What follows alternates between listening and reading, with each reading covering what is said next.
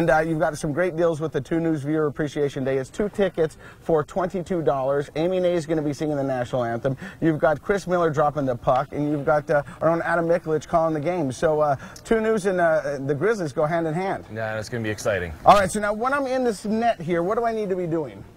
Well, first of all, you got to hold your stick like a goalie. Okay, Okay, so just like that. Right. Right. Now bend your knees. okay, Keep your head up. Keep your hands up. okay, Take up more of the net. Okay. Your hand out a little bit. Flex a Just little. like that. Yeah. Yep, Maybe come okay. out a little bit. Cut down the angle. Okay, Uh, out here, this way. like this. A little bit out this way. The whole body. Oh, okay, okay.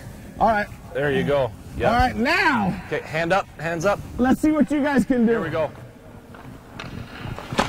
Okay. Okay. Okay. Okay. Let's see what you got. You're gonna come at me. Keep, your- Oh, keep your you hands see up. that? Keep your. Oh, come on. What you got? Oh, I'm gonna hit my butt. Oh, oh, okay. I got you. Come on. Oh, see that? Holy cow. What do you think? Oh my gosh. What do you think that's coming? Oh, stop. All right, one last time. Here we go. Oh. Okay, not bad. Having some fun. The Utah Grizzlies, and you can have fun too. They've got a game tonight, a game tomorrow, Truck or Treat. They've also got Oktoberfest, two news viewer appreciation. Thanks, guys. We appreciate it. Thanks, Coach. Good luck. job.